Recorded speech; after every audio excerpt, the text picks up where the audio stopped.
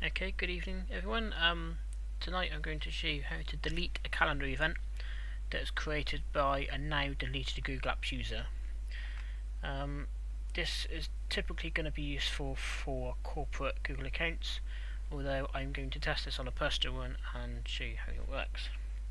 So the first thing you'll need is a list of all the affected users um, and their email addresses. Um, this can be created from an export such as from BetterCloud or in this case they could be typed manually in. So what I've got here is a list of sample email addresses including my one in the middle um, and the others as far as I know don't actually exist. So the first thing we need to do is just pop a status if I can type and then if we go to tools and script editor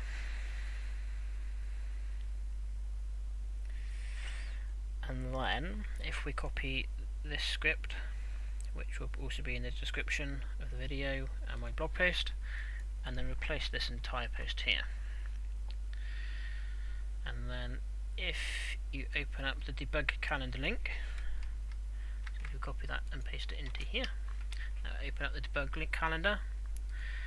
Uh, if you click on the event you want to delete and choose the troubleshooting info if this troubleshooting info link is not here, it's because you didn't use a debug link. So go back and try that again.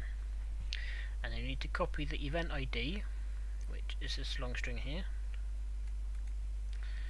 and paste it into the event ID in the script here.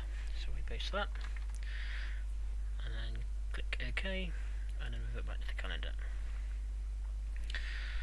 So if you go on resources and then advanced Google services and give it a name, for example delete calendar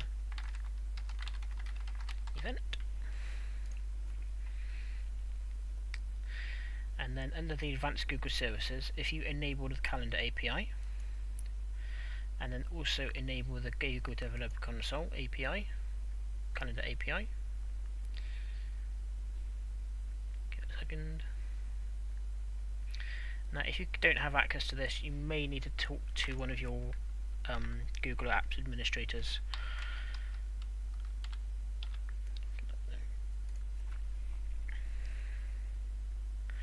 Click enable.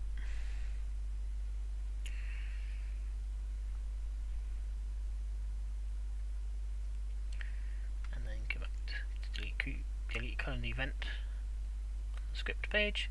Click OK and click run. And it'll pop up a review permissions box. I'm going to quickly switch back to the spreadsheet. And if you click on allow it should run through the spreadsheet checking the email addresses and then you can see it's been deleted from all the calendars. Sometimes it happens straight away but sometimes you might need to just refresh the page. Here and then you can see the event is gone. If you've got multiple events that you want to be deleted, you can just go through and replace this event ID every time, just repeating it and running the script every time. Um, and that's actually it. Um, if your users have got lots of events in their calendar, it will take a few seconds um, to run through each user. I have seen one calendar um, in work where it got stuck on for a couple of minutes because it was an absolutely massive calendar of loads of events.